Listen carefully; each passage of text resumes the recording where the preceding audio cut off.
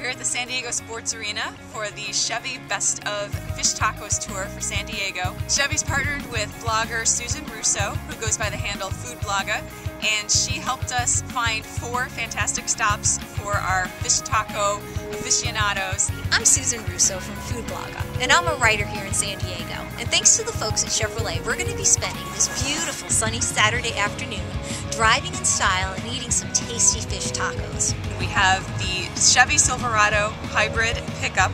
We also have the Chevy Traverse. We have our Chevy Equinox crossover vehicle. We also have our Chevy Malibu sedan. And of course, the car that needs no introduction. This is a great vehicle. The new Camaro. Sporty, low to the ground, fast as all get out. And how's that radio? Killer. All right, cool. What do you think of the car? I thought it was really nice, actually. I just drove the Traverse. I really liked it. We're in the market for a larger car that has the third row seats, and I really like the captain seat option because um, we have two little kids, both in car seats, and so it just seemed like a really good car. Nice. Silverado hybrid. Plenty of room, being 6'5", room's important. It was very smooth transition in driving, and um, it handled nicely and had plenty of power. To surfers who we have to thank for introducing San Diego to the fish taco. We are known as, you know, the hometown of the fish taco in America.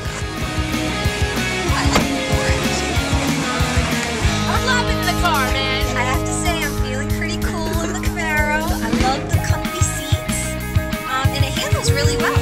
You can't fit in the backseat of a sports car.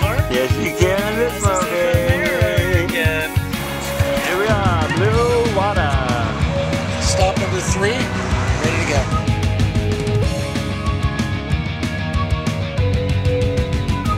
Number eight.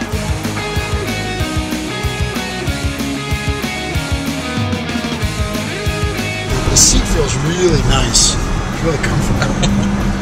Because a lot of, a lot of, I have a, a bad back, so I'm very sensitive to it.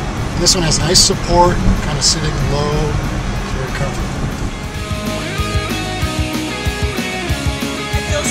Getting out of this car right now. Any day driving a new car, especially those Chevys, it's a good day for sure.